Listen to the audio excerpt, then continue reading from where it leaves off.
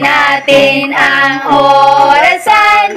May tatlong kamay kaibigan, maikli, mahaba at katamtaman. Yan ang bahagi ng orasan. Orasan, o orasan, analog na orasan. Orasan, o orasan, analog na orasan. Tingnan natin ang orasan. May tatlong kamay kaibigan. Maikli mahaba at katamtaman.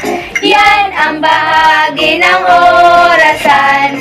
Orasan, o orasan. Analog na orasan.